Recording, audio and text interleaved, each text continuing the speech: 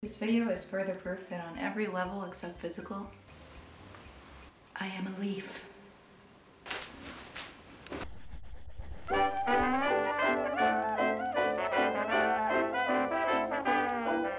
Sing it with me, folks. It's the most wonderful time of the year.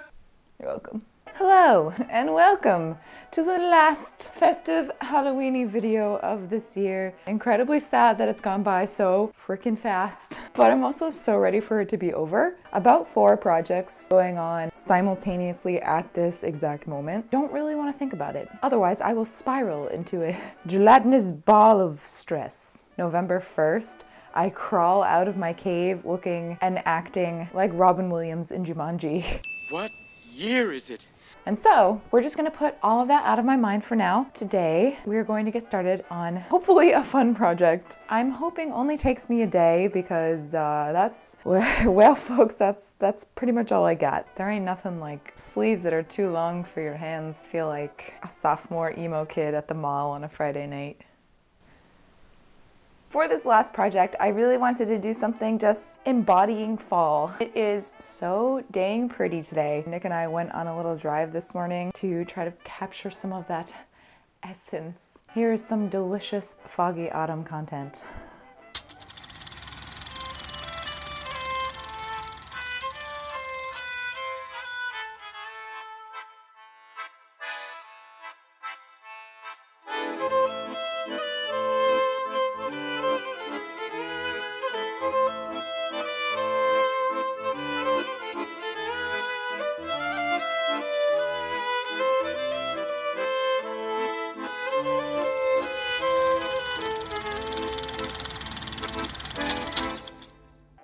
Okay, now that you've enjoyed that cinematic goodness, let's talk about design. Alright friends, so for this, I'm thinking having a bodice that looks like a tree trunk and then a little leather belt with a skirt that looks like fallen leaves. Basically, I just want to look like a little autumn forest fairy. And so I want also big flouncy leaf sleeves. Now, my friends, I am going to cheat a tiny bit on this project. I don't know that I could truly call it a one day make. It is hopefully going to take me one day, but some of this has been pre-made. One of my abandoned projects Shing! Sparkle, sparkle. This was going to be the sort of chest plate armor for the mighty Thor back during summer. And you know what I did? I yeeted it into the deep, dark depths of my abandoned project cavern. Yeet. And so it's just been sitting up in my barn attic. I'm reaching down into the depths and bringing it back into a relevant project. Unfortunately, I did not film the making of this. I can sort of break it down for you. Kamui Cosplay sells foam patterns for armor, for a bunch of stuff. It's basically just a bunch of shapes that you then print out and cut out, and then you lay it on EVA foam. Cut out all the shapes, I have them labeled because of my chaotic tendencies. For example, the bubby is three different shapes. When you take these foam pieces, they're flexible, obviously. I take contact cement, put it on both sides, and then you can put them together, and it makes a fun little shape. Sometimes you can heat form it, sometimes you don't have to. That is this. This will be my sort of wooden bodice a la Pinocchio. I kind of feel like I have done a lot of wood type builds and fabric and such, but whatever. I'm nothing if not consistent. I am probably going to lop off the top half and around back and then we're going to take my handy dandy Dremel, score into it wood-like grain crevices and make it look really, really organic and natural, like I just peeled off some bark from a tree and decided to don it. New York Fashion Week, except you are a bog witch. Once we do that, we can prime it, paint it, add a zipper. I'm gonna get started on that because once I prime it, it's gonna need some time to dry and then we can move on to the skirt. Let's do it.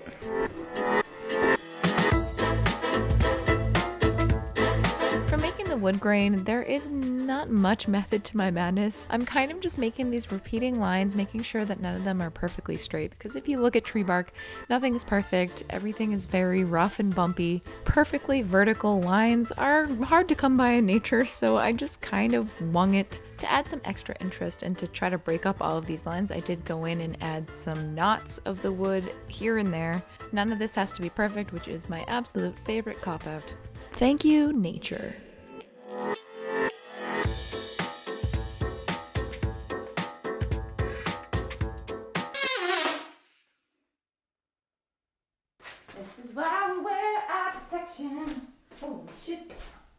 Once that was done, it was time for Plasti Dip time!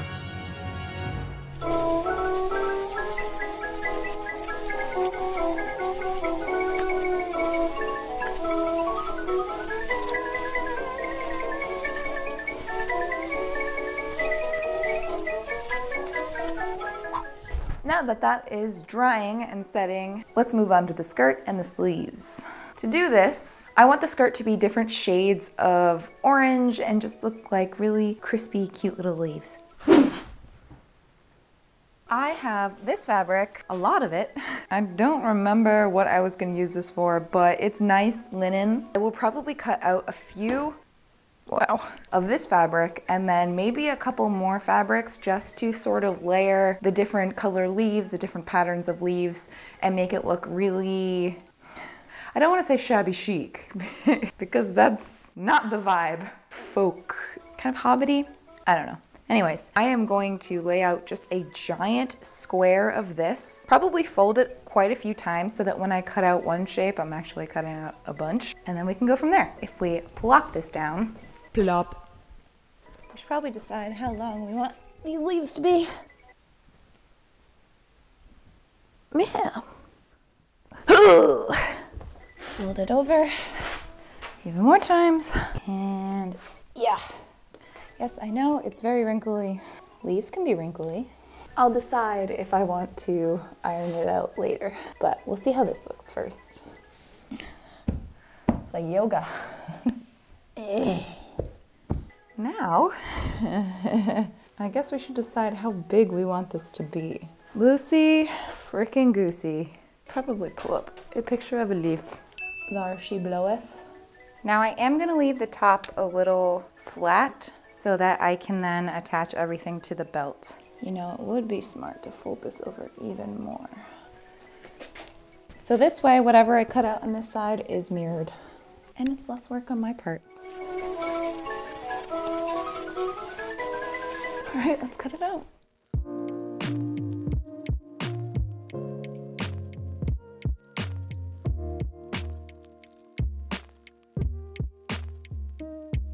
Since this kind of ended up looking like a weird jacket, I made some adjustments.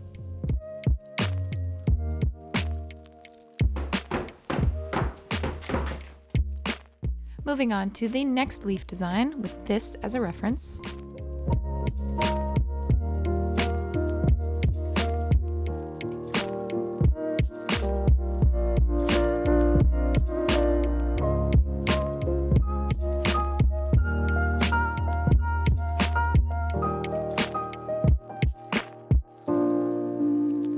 Skirt panels were all set, I just repeated the process for the sleeves.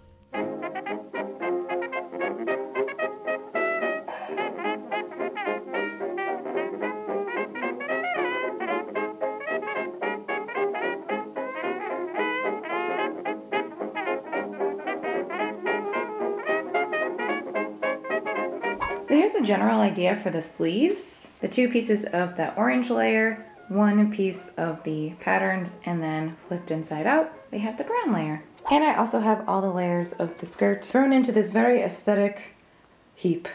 Now that's all well and good, friends, but I want to see if we can't make this just a little bit more. To do that, I'm gonna take my airbrush and just slap some of these with some shading, some browns and oranges, and see if we can make this really, really three-dimensional and give it a lot more depth. Ooh, there's quite a lot of panels here, but let's give it a shot. Definitely learning as I was going with this. I started off with sort of a light brown and it looked fine, but it wasn't as drastic as I thought it was going to be, and it also dried a little bit lighter. So I did go in and add a little bit more dark browns and blacks, and I think it really helped.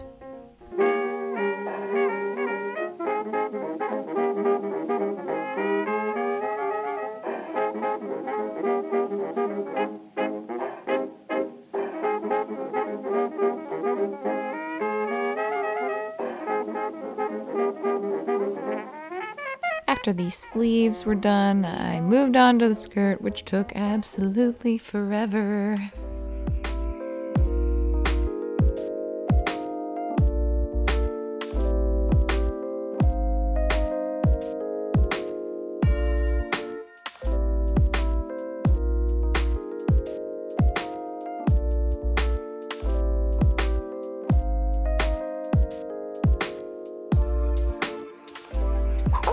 Progress. So everything is all airbrushed and ready to go. These are the two sleeve leaves. Sleeves. and then this is the skirt. But now We are ready to assemble the skirt with the waistband. Staying hydrated. I just took a key break, which very tedious and time consuming when you're wearing a onesie. So basically what I'm going to do is make a waistband out of, I think, fake leather that I have in my stash. Make it wide enough so that I can fold it over and just hide all of the ugly seams from the tops of the leaves. It's just gonna be one long chain of fabric and then it's gonna wrap around itself and clip. For the sleeves, I think I'm going to do the same thing, make a sleeve band out of leather that I will attach to the bodice, just like the waistband, make it wide enough that I can fold it over. I think that should be good. So let's freaking do it.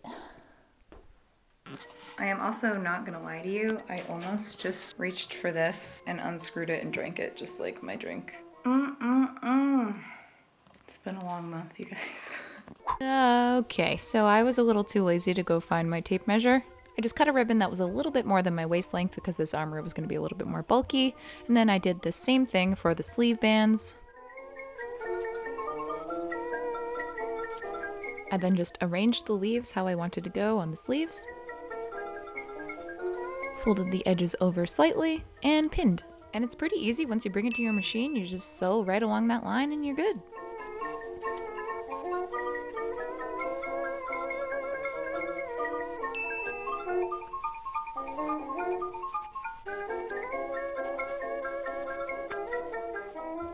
For painting the breastplate. I started with a very simple base coat of brown. You know, ultimately I think my final form is Grandmother Willow from Pocahontas. Internally I feel like her, but externally, baby steps. After I had the base coat, I went in and added some highlights and dark spots, especially in those grooves and those knots. I also went in and dry brushed some like white on there. I wasn't too crazy about this, so I ended up toning this down a lot. Final steps were to attach the sleeve. So usually I would glue this, but this time I decided to stick some thread in there and it worked a lot better. And I did the same thing with the zipper and we are done.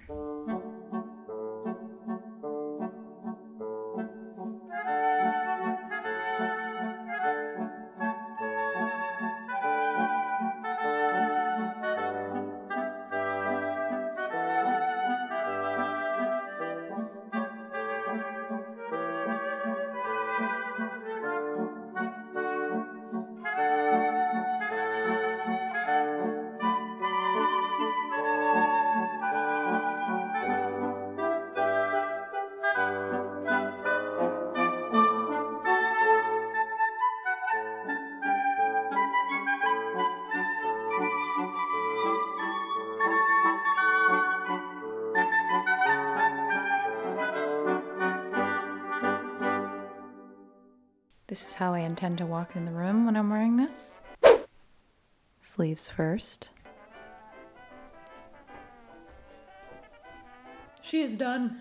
I present to you the autumn leaves dress. I will be completely honest, it's not often that something I think of in my brain translates over into real life. Either the colors won't work exactly how they do in my brain, or even in the design drawing that I have, or just something is just a tiny bit off. That being said, I am so happy with how this came out. I was getting a little worried that the leaves would be kind of ugly, especially like the printed one, as I was doing the airbrushing because um, it was looking kind of ugly. I think that like all together it makes it look really folksy and really kind of fairy-like and cute. And then the bodice I'm so excited about. Number one, it's so flattering, which if you've been watching my channel, you know that I struggle a lot with making things flattering, especially when it comes to like bulky foam. This was off of a pattern, so I do have to thank Kamui Cosplay for that. I kind of feel like a superhero. I am Groot. And then the skirt. Da, da, da, I probably should have added just a little bit more of these leaves that go on top because there is kind of an empty space near the bum. So maybe two more of these smallest leaves. Given more time, I probably should have airbrushed these a tiny bit more or dyed them to make them maybe a little darker. Towards the bottom, give them like a gradient. That's as they are right now, they're kind of just like one solid color block and they're kind of boring. And it's just enough to get you a little peek. Fetch the smelling salts. I don't know, I mainly just wanted to make a dress that was kind of like an ode to autumn because it's my favorite and I'm so sad that it's it's not quite on its way out, but I'm gonna be sad when that day comes. I just wanted to make something that was very festive and crunchy and spicy. I also kind of feel like a kite or like Peter Pan or something. Both a vibe. Usually my one day makes are absolute hot steamy garbage juice that drips onto your leg. This one is more leftover food in your sink drain. And that is it for Halloweeny videos. I, my friends, am going to take a week off. I might even take two weeks to be honest. I, why, why? Why am I holding it like this? I really, really have been struggling to keep up with everything, and I feel like I haven't really gotten to take a breath or like relax in about two months. We'll see how I'm feeling after the end of the first week, but it might be a couple weeks until you see me. I'll let you guys know for sure, but your girl needs a break. I love you whether you're new or old to this channel. If you're new here and you feel like sticking around, feel free to subscribe. I upload most Fridays, and we have fun here. And I will see you in my next video. Bye! It's of the. I didn't realize. Look what the hood looks like. Where's it. There it is.